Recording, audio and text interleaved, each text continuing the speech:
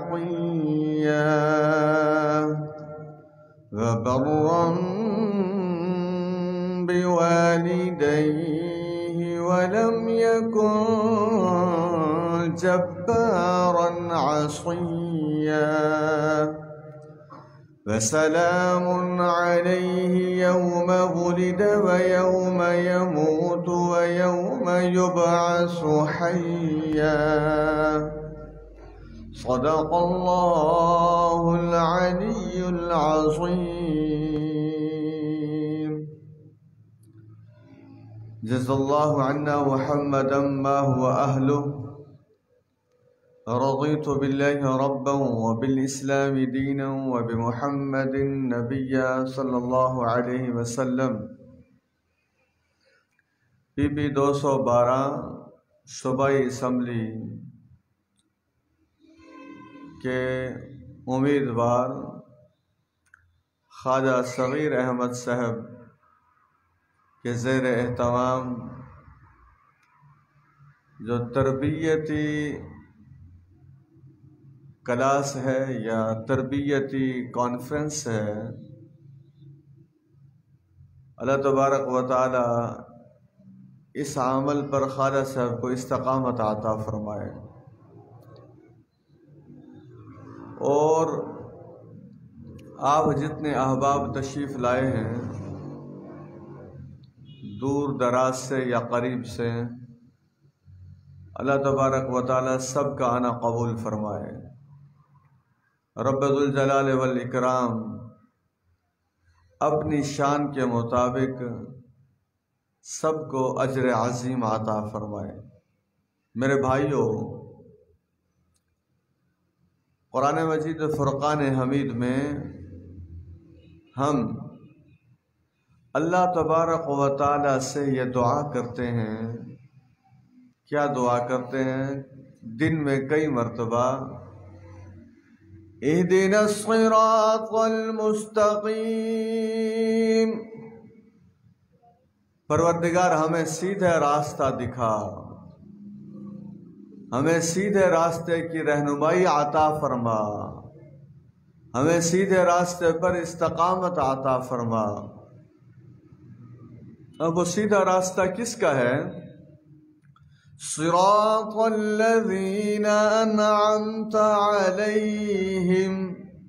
उन लोगों का रास्ता जिन पर आपका इनाम हुआ। अल्लाह तबारक व ताली का जिन लोगों पर इनाम हुआ, उसमें सबसे पहले अम्बिया हैं, उसके बाद सिद्दीकीन, फिर शहदा और फिर सालिहीन। अम्बिया में से एक नबी का नाम है हज़रत याहिया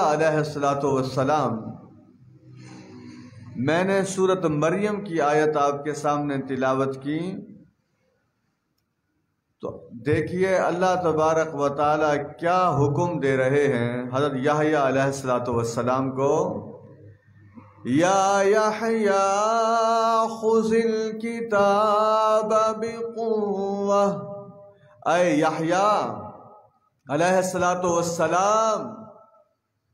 किताब को मजबूती से पकड़ लीजिए। किताब से मुराद है तोरात। अब मैं अगर एक सवाल आप सबसे करूँ, हम में से कितने लोग हैं जिन्होंने जो किताब हम सब के लिए जबत हयात के तौर पर भेजी गई कुरान मजीद, किस किस ने उसको मजबूती से पकड़ा हुआ है?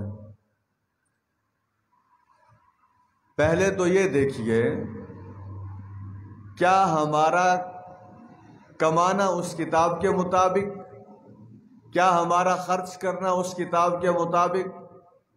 क्या हमारा बोलना, देखना, सुनना, सोचना उस किताब के मुताबिक? क्या हमारी शादी और गमी के तौर तरीके उस किताब के मुताबिक?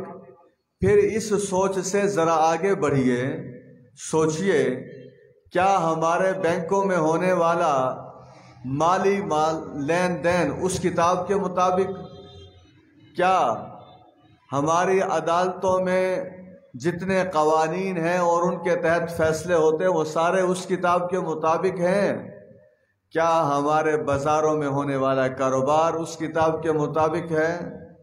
क्या हमारी शादी और गमी उस किताब के मुताबिक है? क्या हमारा सड़कों पर चलना उस किताब के मुताबिक है? क्या हमारा ज़रात का मामला उस किताब के मुताबिक है? क्या हमारा हमसाय के साथ ताल्लुक़ उस किताब के मुताबिक है? मैं एक बात अभी आपको बता दूँ, मुझे भूल न जाए वो बात। हज़रत आयशा रज़ी अल्लाह फरमाती हैं, जिस शख्स ने कभी अपने वालिद को टेढ़ी आँख से देखा कहते ना, गुस्से वाली आँख से देखना वालिद को ऐसे शख्स को अल्लाह तबारक व ताली के यहाँ फर्मा बरदार नहीं लिखा जाता। फिर सुन लीजिए। जिस शख्स ने अपने वालिद को टेढ़ी आँख से देखा, मैं आपको चार बातें बता रहा हूँ, चारों बातें नोट कर लीजिए। सबसे पहली बात यह है कि अगर कभी वालिद गुस्से में आ जाए गालम गलोच करने लगे, गालियाँ देने लगे। उलमा ने लिखा है, औलाद का फ़र्ज़ है कि वालिद अगर गाली दे रहा है तो उस वक्त अपने वालिद को ये कहे, अल्लाह तबारक व ताली आप पर रहम फरमाए। फिर सुन लीजिए। अगर खुदा न खास्ता वालिद गाली दे रहा है तो वो अपने वालिद को ये कहे कि अल्लाह तबारक व ताली आप पर रहम फरमाए। अच्छा फिर और बात देखिए। कई मरतबा दोस्त बैठे होते हैं ना, इंसान गुस्से में आ जाता है। तो अपने दोस्त को हाथ के इशारे हिला हिला कर कहता है, मैं ऐसे कर लूँगा, मैं यूँ करूँगा। अगर मैंने ऐसे ना किया तो फिर मेरा नाम तब्दील कर देना। जैसे जैसे गुस्सा बढ़ता जाता है, हाथ के इशारे बढ़ते जाते हैं। बहुत मशहूर आलिम दीन हैं, ताबई हैं, हज़रत आता रहमत उन्हें फरमाया, जो आदमी अपने वालिद के साथ बहस व मुबासा करते हुए ऐसा गुस्से में आ जाता है कि जैसे दोस्तों के सामने हाथ उठा उठा कर बातें करता है, ऐसे आदमी को अल्लाह तबारक व के यहाँ फर्मा बरदार आदमी की हैसियत से नहीं लिखा जाता। यहाँ तो पता नहीं, वालिद और वालदा के साथ क्या कुछ हो जाता। है आप जितने लोग हैं, मैं आपकी शक्लों से कई लोगों की शक्लें बता देती हैं कि ये मजदूर तबके से ताल्लुक़ रखते हैं। किसी फैक्ट्री में मुलाजिम होंगे, किसी कारखाने में मुलाजिम होंगे। जो बेचारा फैक्ट्री के अंदर काम करने वाला आम मजदूर है, अब वो कहता है कि मैं अपना क्या तारुफ करवाऊँ? अगर किसी जगह कोई तारुफ हो रहा है एक आदमी तारुफ करवाता है, जी मैं डॉक्टर हूँ, दूसरा आदमी तारुफ करवाता है, मैं इंजीनियर हूँ, तीसरा आदमी तारुफ करवाता है, मैं मिल का मालिक हूँ, चौथा आदमी तारुफ करवाता है, जी मैं बिजनेसमैन हूँ। अब ये जो बेचारा मिल के अंदर काम करने वाला आदमी, ये कहता है कि मैं क्या तारुफ करूँ? जहन में रख लीजिए और ख़ूब अच्छे तरीके से मेरी बात सुन लीजिए। आप में से जितने अफराद मिल के अंदर काम करते हैं, फैक्ट्री के अंदर काम करते हैं, कारखाने के अंदर काम करते हैं। अगर आप दयानतदार हैं, आप उस अमीर आदमी से लाखों गुना ज़्यादा अल्लाह तबारक व ताली के करीब हैं जो अमीर आदमी हराम जराए से दौलत कमाता है। बिल्कुल ज़िम्मेदारी से मैं ये बात कह रहा हूँ। बशर्ते कि आपके अंदर ये दो चीज़ें पाई जाएँ। नंबर एक, दयानतदारी। आप जिस जिस फैक्ट्री में काम करते हैं, मुझे नहीं पता कि आप कहाँ कहाँ काम करते हैं। अगर उस फैक्ट्री की चीज़ें आपके सामने रख दी जाएँ, अगर किसी आदमी का दिल उन चीज़ों को उठाने के लिए आमादा हो जाता है तो समझ लीजिए वो अच्छा इंसान नहीं है। मैं माजरत के साथ एक बात कह रहा हूँ, आपने महसूस नहीं करना। चूँकि तरबियत की क्लास है तो इसलिए ये बात मैं कहना ज़रूरी समझता हूँ। मुल्तान शहर में और मुल्तान शहर से बाहर कई शहरों में मैंने एक सवाल किया बड़े बड़े होटलों के मालिकान से कि आपके यहाँ जितने लोग काम करते हैं, आपके मुलाजिम हैं, उनमें से कितने फ़ीसद ऐसे मुलाजिम हैं जो दयानतदार हों? जानते हैं उनका जवाब क्या था? पाँच फ़ीसद भी मुलाजिम दयानतदार नहीं है, पचानवे फ़ीसद मुलाजिम ख़यानत करने वाले हैं।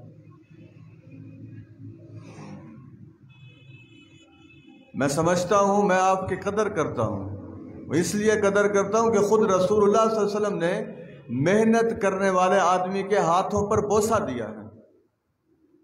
इससे बढ़कर और क्या बात हो सकती है? लेकिन अगर ये मेहनत करने वाला आदमी ख्यानत करने वाला है तो ये आदमी फिर अल्लाह तबारक व ताली के नज़दीक कोई मकाम नहीं रखता। अगर ये नमाजें छोड़ने वाला है, अगर ये गालम गलोच करने वाला है, अगर ये दिन भर की कमाई को किसी खातून पर उड़ाने वाला है, अगर ये महीने भर की मेहनत की कमाई को जिना के सपुर्द करने वाला है, बेहयाई के सपुर्द करने वाला है गुनाह के कमाने के लिए या जुआ खेलने के लिए या शराब पीने के लिए खर्च करने वाला है तो यूँ समझ लीजिए, फिर इस आदमी का अल्लाह के यहाँ कोई मकाम नहीं है। तो हम ये आपको जो यहाँ इकट्ठा करते हैं, आप सब हमारे भाई हैं, इस आयत को दोबारा सुनिए छोटे से टुकड़े को। या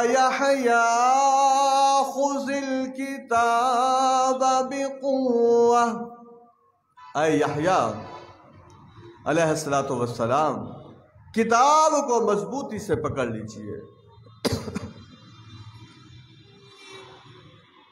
अब आप में से जिन लोगों ने असर की नमाज़ नहीं पढ़ी और वो यहाँ बैठे हुए हैं, आराम से। असर की नमाज़ छोड़ने वाला आदमी आराम से बैठ सकता है? वो कैसे बैठ सकता है? मैं अपना एक वाक़ आपको बताऊँ।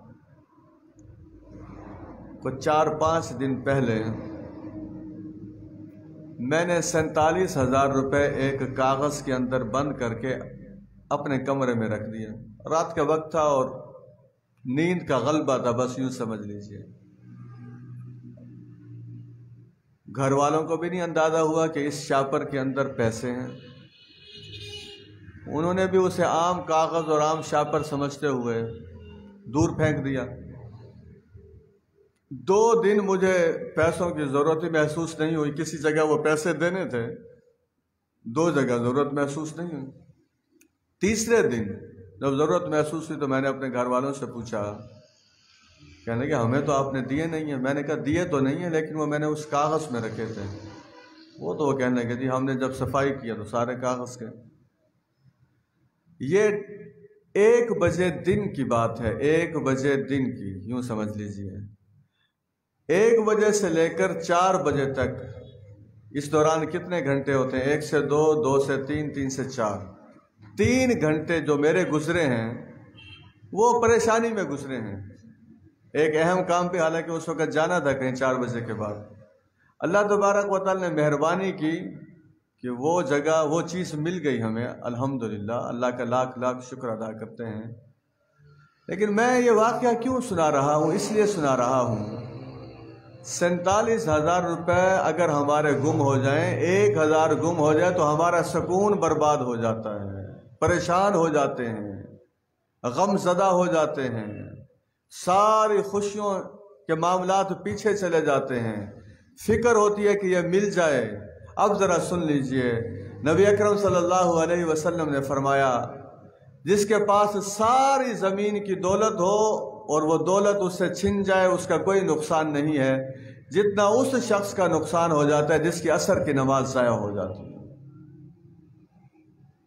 जिस, उस असर की नमाज़ जिसकी ज़ाया हो जाती है, उसके घर बार ख़त्म हो जाए गोया अब कितने लोग हैं जो परेशान होते हो? हज़रत अब्दुल्ला इबन अब्बास रजील्ला तहों की आँख का मसला था, इलाज के लिए तबीब आया, डॉक्टर आए। उन्होंने कहा जी इलाज तो आपका करते हैं, लेकिन ख़तरा है कि आपकी एक नमाज़ रह जाएगी। इसलिए आप देखें, हमारे यहाँ कोई ऐसे जल से जलूस नहीं होते। ख्वाजा साहब इन अल्लाह तबारक व इन्हें यह मौका फराहम करेगा। इनकी उम्र में बरकत आता फरमाए। ये 2023 या उससे पहले जो इलेक्शन होते हैं, उसमें भरपूर हिस्सा लेंगे। लेकिन हमारे नज़दीक अगर इलेक्शन कम्पेन के दौरान अजान हो, आ गई और जमात का वक्त मुख्तसर है, थोड़ा टाइम है, हमारे नज़दीक सबसे अहम काम नमाज़ की अदायगी है। नमाज़ को हम अदा करेंगे इन हमारे जल से जुलूस वो नहीं है कि जोहर की नमाज़ से शुरू होंगे, जोहर की नमाज़ ख़त्म, असर की नमाज़ ख़त्म, मगरिब की नमाज़ ख़त्म, इशा की नमाज़ ख़त्म मेरे भाइयों, मुझे इस सवाल का जवाब दीजिए। नमाजों को ज़ाया करने वाली जमातें पाकिस्तान को तरक्की के रास्ते पर डाल सकती हैं? जो अल्लाह का हक ज़ाया कर दे, वो बंदों के हकूक को कैसे पूरा करेगा, ये बताइए। इतनी समझ तो अल्लाह ने सबको दी है ना, कि इतनी मोटी सी बात तो समझ आ सकती है। जो अल्लाह का शुक्र गुजार नहीं है, वो मखलूक के लिए कैसे बेहतरीन इंसान साबित हो सकता है? तो अब्दुल्ला इबन अब्बास रज़ी अल्लाह को जब तबीब ने कहा, हकीम ने कहा कि आपकी आँख का इलाज तो मैं करूँगा, लेकिन हो सकता है इस इलाज के दौरान आपकी एक नमाज़ कज़ा हो जाए। यानी उस वक्त में आप नमाज़ ना पढ़ सकें। अब ज़रा जवाब सुन लीजिए। हज़रत अब्दुल्ला इबन अब्बास रजील्ला ने फरमाया उस तबीब से, सुनो, इलाज तो करना है, लेकिन इसका ख्याल रखो कि मेरी नमाज़ वक्त पर अदा हो। क्योंकि मैंने नबी अकरम सल्लल्लाहु अलैहि वसल्लम को यह फरमाते हुए सुना है कि जो अल्लाह की बारगाह में क़्यामत वाले दिन इस हालत में हाजिर हुआ कि उसकी ज़िंदगी में एक नमाज़ रह गई हुई तो वो अल्लाह से इस हालत में मिलेगा कि अल्लाह तबारक व ताली उस पर गजबनाक होंगे यहाँ तो रोज़ाना ही कई नमाजें रह जाती हैं।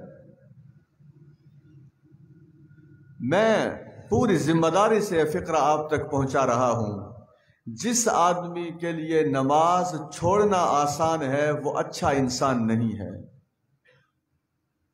जिस आदमी के लिए तिलावत कुरान छोड़ना आसान है, वो अच्छा मुसलमान नहीं है। जिस आदमी के लिए सुन्नत रसूल की परवाह ना करना आसान है, वो अच्छा मुसलमान नहीं है। जिस आदमी के लिए नज़रों को खातन के चेहरे पर डालना, शहवत की नज़र से देखना आसान है, वो अच्छा मुसलमान नहीं है।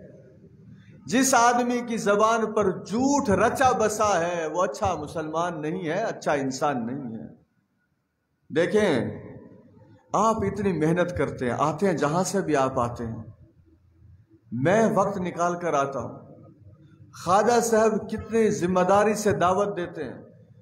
हमें फिर यह पता लगना चाहिए कि अगले महीने जब आप आए, मैं बल्कि ख्वाजा साहब से यह कहूँगा कि आप इनसे आहिस्ता आहिस्ता रिपोर्ट लेना शुरू कर दें।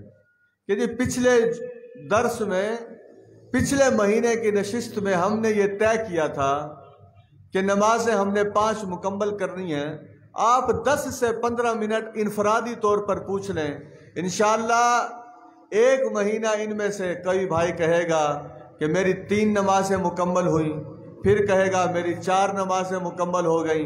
और इन वो खुश नसीब महीना आ जाएगा जिसमें सारे लोग कहेंगे कि अब हम पाँच वक्त नमाज़ बाजमात पढ़ने वाले बन गए। ऐसा करेंगे इन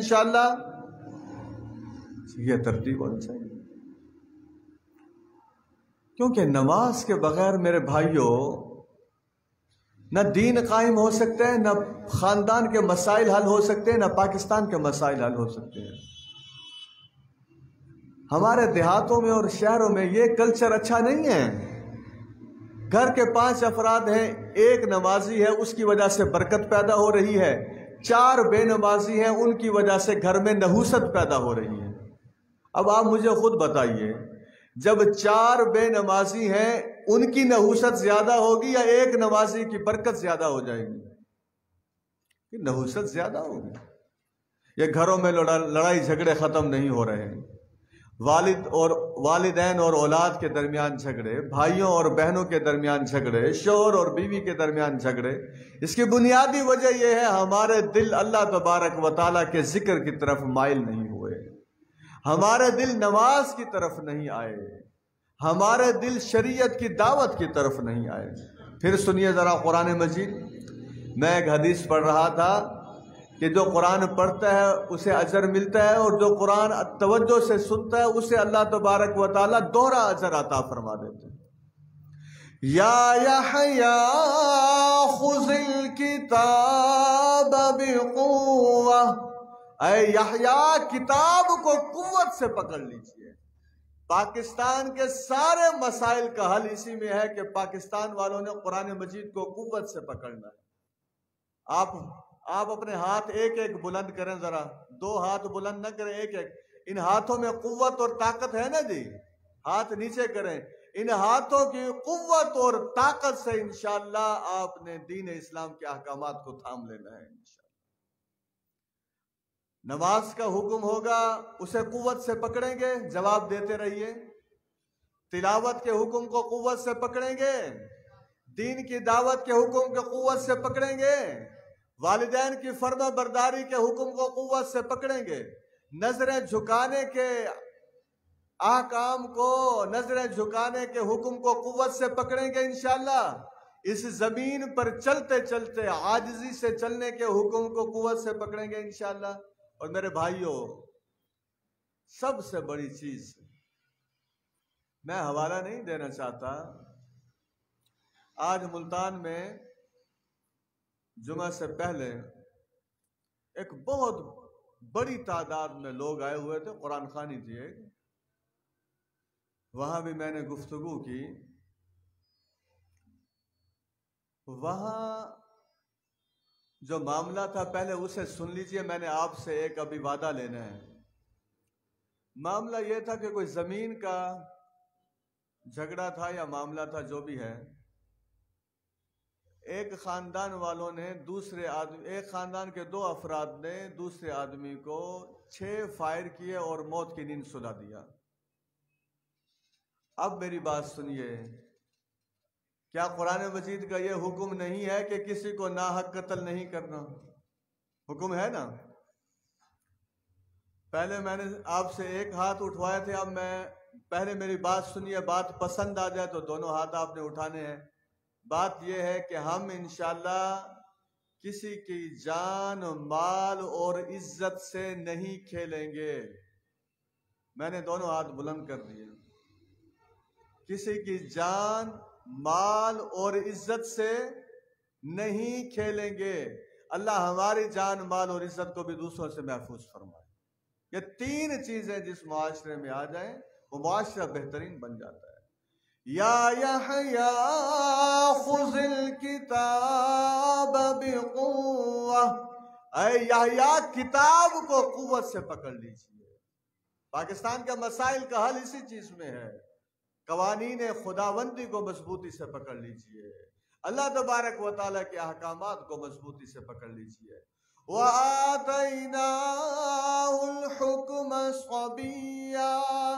हमने उन्हें यानी याहिया को बचपन से ही दानिशमंदी आता फरमा दी थी हिकमत आता फरमा दी थी देखिए, हकीम और अक्लमंद आदमी किसे कहते हैं? अगर कोई आपसे तारीफ़ पूछे, अक्लमंद आदमी किसे कहते हैं? कुरान की नज़र में अक्लमंद आदमी सिर्फ़ वो नहीं है जो बड़ी बड़ी इमारतें बना ले। अक्लमंद आदमी वो नहीं है जो बड़े बड़े जहाज़ उड़ा ले। अक्लमंद आदमी वो नहीं है जो बड़ी बड़ी पॉलिसियों पर गुफ्तगु करे। अक्लमंद आदमी सिर्फ़ वो नहीं है जिसके पास डिग्रियाँ बहुत ज़्यादा हों। अक्लमंद आदमी सिर्फ़ वो नहीं है जो ज़मीनों को खूब अच्छे तरीके से संभाले। यकीनन इन सारे कामों के लिए अकल की ज़रूरत है। कुरान की नज़र में असली हकीकी अक्लमंद वो है जो अपने आप को अल्लाह तबारक व के अहकाम का पाबंद बना दे, बस। अगर इस काम में आप और मैं आ गए तो अल्लाह के नज़ीर हम अक्लमंद ठहरेंगे इन हिकमत और दानिशमंदी इसी चीज़ में है कि अल्लाह तबारक व के दीन की मुखालफत ना करें। अलामा इकबाल रहमतुल्लाह से कहा गया था, अंग्रेज़ों ने कहा था अभी पाकिस्तान ज़ाहिर नहीं बना था। अलामा रहमतुल्लाह उन्नीस सौ अड़तीस में फोत हो गए। उन्होंने कहा कि आपको हम अफ्रीका के दौरे पर भेज रहे हैं। आपने अपनी बीवी को साथ लेकर जाना है और जैसे हमारी खातन बेपर्दा होती हैं तो आपने भी अपनी बीवी को साथ लेकर जाना है। वहाँ अपनी बीवी को पर्दा नहीं करवाना। ये किससे कहा गया? अल्लामा इकबाल रहमतुल्लाह से। अफ्रीका के सरकारी दौरे पर जाइए, हुकूमत के खर्चे पर, अंग्रेज़ों के खर्चे पर, बरतानिया के खर्चों, खर्चे पर। बीवी को साथ ले जाइए, लेकिन वहाँ आपने अपनी बीवी से पर्दा नहीं करवाना और जैसे हाथों में हाथ डाल के हमारे मर्द और खातन एक दूसरे के आमने साथे, आमने सामने आते हैं, आपने भी ऐसा करना अब जानते हैं अलामा रहमतुल्लाह ने क्या जवाब दिया था? अलामा रहमतुल्लाह ने फरमाया था, मैं गुनागार ज़रूर हूँ, लेकिन मैं इतना गुनागार भी नहीं हूँ कि मैं अपने नबी के दीन के एक हुक्म को तोड़ डालूं। मैं अपने नबी के एक हुक्म को छोड़ दूँ। मैं अपने नबी के एक हुक्म पर अमल न करूँ। ये है, ये फिर ऐसे मकाम नहीं मिलता होता। जो मकाम मिलता है, उसके पीछे फिर फर्मा बरदारी होती है। उसके पीछे इतात होती है। अभी किसी आदमी को अगर कहा जाए कि आप ऐसा करें, फला के ऊपर झूठा इल्ज़ाम लगाएँ, आपको पचास हज़ार रुपए देते हैं। मेरी तरफ़ देखिए। फला पर झूठा इल्ज़ाम लगा दें, आपको पचास हज़ार रुपए देते हैं। वो कह दी, चले, पचास हज़ार तो आता है, मेरी कई ज़रूरियात पूरी हो जाएँगी। मेरा फिक्रा सुन लीजिए गौर से सारी ज़िंदगी काम आएगा इन पचास हज़ार में आपकी कई ज़रूरियात पूरी हो जाएँगी, झूठा इल्ज़ाम लगाकर। जो इस जिसम को जहन्नुम के शोलों में जलना पड़ेगा, वहाँ ज़रूरियात कैसे पूरी करेंगे? वहाँ पानी की ज़रूरत कैसे पूरी होगी? वहाँ खाने की ज़रूरत कैसे पूरी होगी? वहाँ आराम की ज़रूरत कैसे पूरी होगी? वहाँ देखने, बोलने की ज़रूरत कैसे पूरी होगी? मैं बार बार इस चीज़ पर ज़ोर लगा रहा हूँ। अल्लाह करे कि मेरी बात आपके दिल में उतर जाए, अल्लाह करे कि आज हम सारे ये फैसला करके जाएँ। एक तो ये फैसला करके जाएँ, झूठ को अपने करीब नहीं आने देंगे, इंशाल्लाह। दूसरा फैसला ये करके जाएँ कि इनशाला खयानत नहीं करेंगे, चोरी नहीं करेंगे इनशाला मैं जो बातें कह रहा हूँ खाम खानी कह रहा हूँ। अभी हमारे कुरान क्लास खत्म हुई है कुछ दिन पहले। इलाके का नाम, मैं नाम भी नहीं लेता, आदमी का नाम भी नहीं लेता। मैंने उनसे इतना पूछा, मैंने कहा, हम ये तो सुनते हैं, ये जो दरख्त होते हैं बागों के, इनसे लोग आम तोड़ लेते हैं। इनसे लोग सेब तोड़ लेते हैं, इनसे लोग फल तोड़ लेते हैं। आपके इतने फ़िश फार्म हैं, ये बताएँ, क्या मछलियाँ भी लोग चोरी करके ले जाते हैं? तो वो हंसने लगे और कहने लगे, प्रोफेसर साहब, क्या पूछते हैं आप? रात को कौन पहरा दे सकता है? रात को मछलियाँ भी निकाल कर ले जाते हैं। जो चोरी की मछली इस जिस्म के अंदर जाएगी, उससे अखलाक बिगड़ेगा, उससे किरदार बिगड़ेगा उससे आखरत बिगड़ जाएगी। यकीन कीजिए, ये जो हराम खाने वाले अफराद होते हैं, इनकी औलाद के अंदर वो सालहियत पैदा नहीं होती। इनकी औलाद के अंदर तकवा पैदा नहीं होता। इनकी औलाद के अंदर तहारत पैदा नहीं होती। इनकी औलाद के अंदर नमाज़ का शौक पैदा नहीं होता। इनकी औलाद के अंदर शर्म व हया पैदा नहीं होती। इनकी औलाद के अंदर अल्लाह तबारक व ताला से मोहब्बत करने के जज्बात पैदा नहीं होते। इनकी औलाद के अंदर मुआशरे के लोगों के हकूक का ख्याल रखना इस किस्म का जज्बा पैदा नहीं होता। ये मुआशरे के लिए सांप से ज़्यादा जहरीले साबित होते हैं। ये मुआशरे के लिए भेड़िए से ज़्यादा खौफनाक साबित होते हैं। ये मुआशरे के लिए दीगर खूखार दरिंदों के मुकाबले में है तो ये इंसानी शक्ल में लेकिन उन दरिंदों के मुकाबले में ज़्यादा खतरनाक ये साबित होते हैं हमें आपको इकट्ठा करने का कोई शौक नहीं है सिर्फ़। इतना कीमती वक्त है ये, जो इतना ज़ोर लगाया जा रहा है, इतनी मेहनत की जा रही है। अभी आप ये देखें, ये माली इशार है, माशाल्लाह, खाला सर। अल्लाह ताला इनके रिस्क में भी बरकतें आता फरमाए। ये क्यों है ये सारा कुछ? कोई मकसद इसके पीछे है या नहीं है? या जैसे आप आए थे, वैसे ही चले जाएँ। जैसे मैं आया था, मैं भी वैसा चला जाऊँ। आप यकीन जानिए, मैं अल्लाह को गवाह बनाकर कह रहा हूँ, मैं जिस ईमान के साथ इस जगह आया हूँ, उस ईमान में इजाफा लेकर अल्हम्दुलिल्लाह वापस जाऊँगा मैं क्या आपके ईमानों में इजाफा नहीं हुआ? बताइए। क्या आपके इल्म में इजाफा नहीं हुआ? क्या आपके अंदर नेक आमाल करने के जज्बे में इजाफा नहीं हुआ? क्या आपके अंदर बुराई छोड़ने के हवाले से जो जज्बात हैं उसमें इजाफा नहीं हुआ? मेरे भाइयों, कितनी खूबसूरत ये आयत है। अभी तो दो बातें हुई हैं। पहली बात यह है, अल्लाह के हर हुक्म को मजबूती से पकड़ना है कुत के साथ, ताकत के साथ। आपको कोई लड़ाने की कोशिश करें, मैं मसलक का नाम नहीं लेता कि जी फला मसलक वाला, फला मसलक वाला। आप कहें, खबरदार, मैं आज दरस कुरान सुनकर आया हूँ। अल्लाह के अहकाम को मैंने मजबूती से पकड़ना है। अल्लाह ने सारे ईमान वालों को आपस में भाई भाई बनाया है। मैं भी सारे ईमान वालों को आपस में भाई भाई बनाऊँगा, इंशाल्लाह। कहेंगे ऐसा? दूसरी बात, आज के दर्श की दूसरी बात, जो आपने मजबूती से पकड़नी है वो ये कोई आदमी आपको बुराई की तरफ़ माइल करे, उसे कह दें आप देखिए, रात को जब आप सारा दिन थक हार कर सोते हैं, मैं आपसे एक सवाल करता हूँ। आप यकीन जानिए, थकते हम भी हैं, थकते आप भी हैं। थकावट ऐसी होती है, ऐसे महसूस होता है कि अब ये थकावट जानलेवा होगी, अब ये जिसम मजीद काम नहीं करेगा। कुर्बान जाइए उस रब की रहमत के थकावट लेकर सोते हैं, सुबह उठते हैं तो जिसम काम करने के लिए फिर ताज़ा दम हो चुका होता है। मुझे बताइए, थकावट को किसने ख़त्म कर दिया? बोले तो सही। तो उस रब के हुक्म को क्या आप पूरा नहीं करेंगे, मेरे भाइयों? करेंगे ना इनशाला जब यहाँ अव्वल तो कोशिश किया करें, असर की नमाज़ यहाँ आके पढ़ा करें। अभी से ये तहैया करके जाए, इंशाल्लाह। और इस तादाद में इजाफा करते चले जाए। आप में से हर आदमी मेरे नज़दीक हज़ार के बराबर है।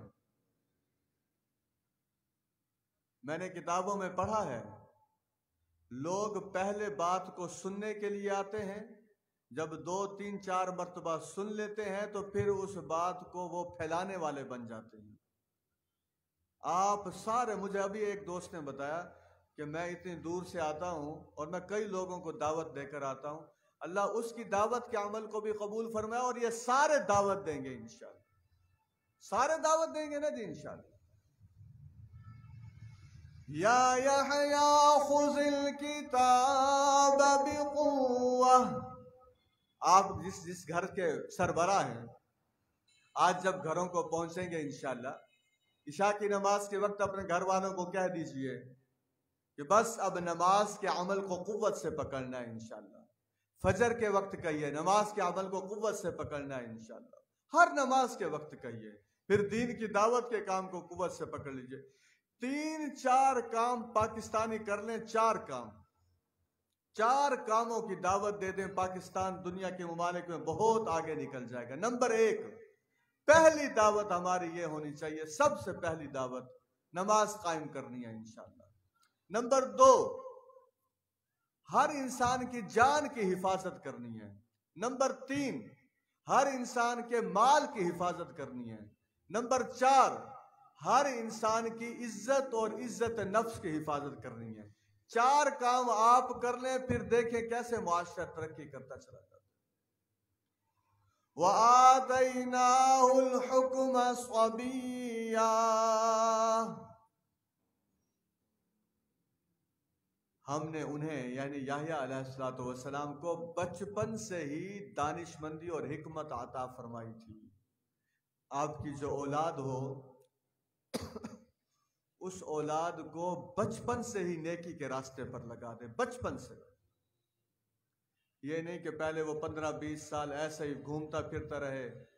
ना उसकी तरबियत की फ़िक्र हो, ना उसके इल्म की फ़िक्र हो। जब खूब बिगड़ जाए फिर जाकर लोगों को उसके बिगड़े हुए जो हालात हैं वो सुनाना शुरू कर दें और बिगड़ी हुई ज़िंदगी की बातें बताना शुरू कर दें। जी, जहन्नुम बना दिया है घर को। मैं कहता हूँ, घर को जहन्नुम बनाने से पहले उसकी तरबियत की फ़िक्र करें। उसे खुद मस्जिद में साथ लेकर जाइए। उसे खुद कुरान मजीद की तालीम के लिए लेकर जाइए। उसे खुद तालीमी इदारे के दरवाजे तक छोड़कर आइए। उसे खुद रोज़ाना की बुनियाद पर 15 से 20 मिनट अपने साथ बिठाइए। जो आपकी अपनी जबान है, मादरी जबान, उस जबान में उससे गुफ्तगु कीजिए। उससे पूछिए, बेटे, आज कौन कौन सी नेकी का अमल किया? बेटे, आज कोई गुनाह तो नहीं हो गया? मेरी बेटी, आज कोई गुनाह का अमल तो नहीं हो गया? आज शैतान तो गालिब नहीं आया मेरे बेटे और बेटी पर? आज कहीं मेरे बेटे और बेटी ने रब को नाराज़ तो नहीं कर दिया? कितने बाप हैं जो अपने घरों में इस किस्म की गुफ्तगु करते हैं?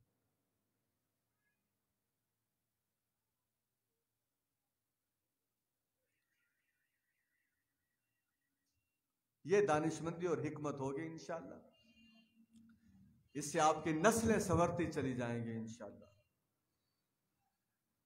वहनाना वज़का वकाना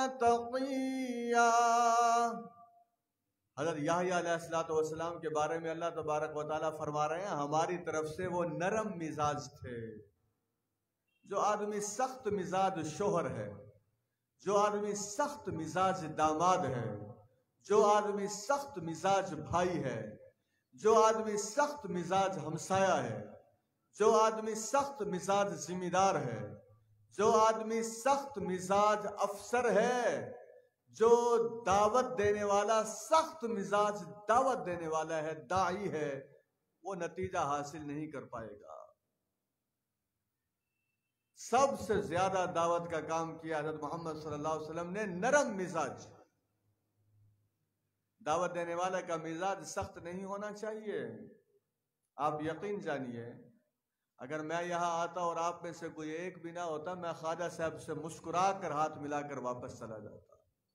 दावत देने वाले के मिजाज के ऊपर दावत के असरात होने चाहिए। तो क्या नरम मिजाज बनेंगे इनशाला मुसलमानों के लिए नरम मिजाज और कुफार के लिए सख्त मिजाज इनशाला कुफार से भी हमारा ना जमीनों का झगड़ा है, ना खानदान का झगड़ा है कुफार से हमारा झगड़ा इसलिए है कि वो अल्लाह और उसके रसूल के बागी हैं। वो अल्लाह और उसके रसूल के मुखालिफ हैं। वो अल्लाह और उसके रसूल के निज़ाम ज़िंदगी के मुकाबले में अपनी ख्वाहिशात पर मबनी निज़ाम ज़िंदगी लेकर आ गए हैं। मेरे भाइयों, आपस में मोहब्बत और प्यार और नरमी का मुजाहिरा करते हुए दीन के मुखालिफ लोगों के लिए क्या चटान साबित हो गए इनशाला कुत साबित हो गए इनशाला जजाकल्ला खैर। उसके बाद फरमाया, अल्लाह तबारक वाली ने ये तीन खसूसियात हो गई। पहली खसूसियत, किताब को कुत से पकड़ने वाले। दूसरी खसूसियत दानिशमंदी और हिकमत। तीसरी खसूसियत, अल्लाह तबारक वाली ने उन्हें नरम मिजाज बनाया। चौथी खसूसियत, अल्लाह तबारक वाली फरमाते हैं, पाकिजा इंसान थे, पाकिजा। हम सब का रिस्क पाकिजा हो जाए, हम सब की गुफ्तगु पाकिजा हो जाए। नबी अकरम सल्लल्लाहु अलैहि वसल्लम के एक सहाबी हैं, उनका नाम है हज़रत सुफियान रसी अल्लाह हो उन्होंने अर्ज़ की, अल्लाह के रसूल सल्लल्लाहु अलैहि वसल्लम, आपको मेरे बारे में किस चीज़ का ज़्यादा खतरा है? आपने अपने सहाबी को समझाने के लिए अपनी जबान मुबारक को पकड़ कर कहा इस चीज़ का। खेतों से गुजरते गुजरते यह है तो मुल्तान शहर का इलाका मिसाल दे रहा हूँ। कभी आप गंदम की फ़सल को देखते होंगे, कभी कपास की फ़सल को देखते हैं, कभी कमाद की फ़सल को देखते हैं। ये फ़सलें जब देखा करें तो ये हदीस जहन में रखा करें कि जहन्नुम में सबसे ज़्यादा इंसान को जबान की फ़सल लेकर जाएगी। जबान की फ़सल।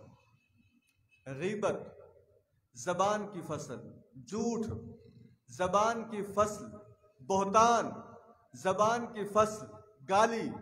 जबान की फ़सल, फोहश गुफ्तगु। जबान की फ़सल, दीन की मुखालफत वाले कलिमात। जबान की फ़सल, फिरका वारियत पर मबरी नारे। जबान की पैदावार, कुफ्र और शिरक के नारे और कलिमात। जबान की पैदावार नफरत से भरे हुए जुमले जबान की पैदावार अल्लाह और उसके रसूल के अहकाम की खिलाफ वर्जी करते हुए अपनी जबान को गैर मोहताज तरीके से इस्तेमाल करते पाकिज की खत्म हो जाती है, मेरे भाइयों। हम ये समझते हैं, अगर हम सब, मैं भी आपकी तरह मोहताज हूँ, जैसे आप मोहताज हैं, दीनी तालीमत के। अगर हम सब ये तय करके जाएँ कि इनशाला कुरान और सुन्नत को मजबूती से पकड़ेंगे इनशाला इनशाला हिकमत और दानिशमंदी की मजलिसों में शिरकत करेंगे। मैं एक और बात भी बता दूँ। अब मैंने इतना ज़ोर लगाया, आधे घंटे से ज़ोर लगा रहा हूँ। आज के दर्स सुनने के बाद अगर कोई भाई जाकर ईशा की नमाज़ के बाद कोई फ़िल्म देख लेता है, कोई गाने सुन लेता है, मोबाइल पर स्टेज शो देखता है, कोई और चीज़ देख लेता है ये हमारी सारी मेहनत रायगा नहीं हमने कहा था कुवत से पकड़ने। उसने कुवत से पकड़ने की बजाय वही बेहूदगी के साथ दोबारा ताल्लुक कायम कर लिया। जब कोई मरीज़ अस्पताल से निकल रहा होता है, वो अल्लाह से यह दुआ माँगता है कि, परवरदिगार, अब जो आपने सेहत दी है, आज के बाद परवरदिगार, बीमारी का रुख ना दिखाना, बीमारी का मुँह ना दिखाना। मेरे भाइयों, इस तरबियती मजलिस में हम इंशाला जिन जिन गुनाहों से तोबा कर रहे हैं, उन गुनाहों की तरफ़ दोबारा नहीं जाएँगे इंशाला ये तो रखी जाए इंशाला तो तीसरी जो खसूसियत है, वो है नरम मिजाजी। चौथी खसूसियत है पाकिस की। हज़रत के बारे में अल्लाह तबारक व ताली गवाही दे रहे हैं। वकाना तकिया। वो मुत्तकी शख्स थे, नेक और परहेजगार शख्स थे। आप किसी से ना पूछिए, लोगों से अपने बारे में पूछ लीजिए, मैं कैसा शख्स हूँ, लोग खुद बता देंगे आपको। अपने घर वालों से पूछिए, रिश्तेदारों से पूछिए, हमसायों से पूछिए, दोस्त अहबाब से पूछिए, मैं कैसा हूँ? अच्छा आपको वक्त नहीं मिलता किसी से पूछने का। कुरान मजीद ने एक और तरीका बताया, बड़ा आसान तरीका है। कुरान मजीद ने कहा है, किसी से पूछने की ज़रूरत नहीं है, अपने आप से पूछ लो, ये जमीर सारा कुछ बता देगा कि तुम कैसे हो। किसी से पूछने की ज़रूरत नहीं है। वकान तकिया। परहेजगार थे हज़रत यासलाम मजाल है अल्लाह के किसी हुक्म की खिलाफ वर्जी करने के लिए तैयार हो जाए। ऐसा इंसान होना चाहिए। आखिरी खसूसियत और छठी खसूसियत क्या है? वह बर्रम बिवालिदई अपने वालिदैन के लिए नेक थे। देखिए, दो चीज़ें हैं, मैं भी चाहता हूँ, आप भी चाहते हैं। हाथ अब खड़ा नहीं करवाता, वैसे बस इशारा मुझे कर दीजिएगा। वाकई हम सब चाहते हैं, हमारी उम्र में भी इजाफा हो, रिस्क में भी इजाफा हो। ऐसा ही है ना जी? उम्र में भी क्या हो जाए? इजाफा रिस्क में भी क्या हो जाए? तो नुस्खा सुन लीजिए। नबी अकरम सल्लल्लाहु अलैहि वसल्लम ने फरमाया, जो आदमी अपने माँ बाप के साथ भलाई करता है और अपने रिश्तेदारों के साथ अच्छा सलूक करता है, अल्लाह तबारक व ताली उसकी उम्र में भी बरकत फरमा देते हैं, उसके रिस्क में भी बरकत फरमा देते हैं।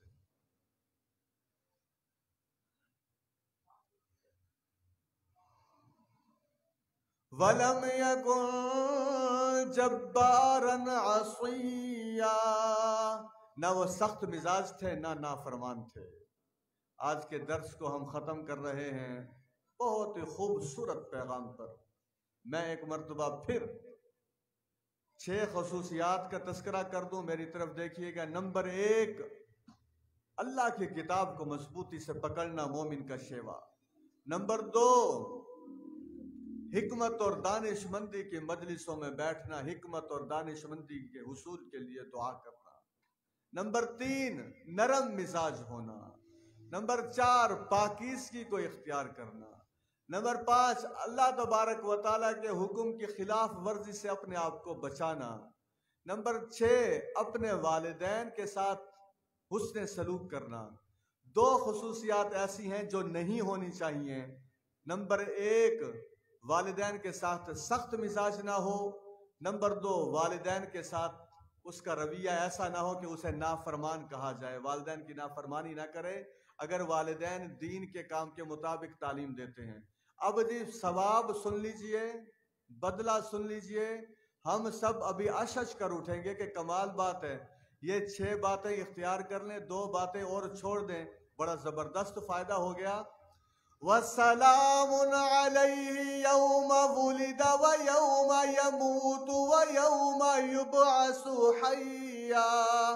जिस दिन याह्या पैदा हुए, उस दिन भी उन पर सलाम थी। जिस दिन वो फोत होंगे, उस दिन भी उन पर सलामती जिस दिन दोबारा क्यामत वाले दिन ज़िंदा किया जाएगा, उस दिन भी उन पर सलामती यौम पैदाइश भी सलामती वाला यौम वफात भी सलामती वाला, यौम क्यामत भी सलामती वाला। अगर कोई आदमी इन चीज़ों पर अमल करेगा, अल्लाह के नबी की इस, इन सिफात के मुताबिक अपने आप को चलाएगा। अल्लाह की रहमत से उम्मीद है इनशाला उसके भी ये तीनों दिन सलामती वाले हो जाएँगे। वाखिर दावाना, अल्हम्दुलिल्लाह रब्बिल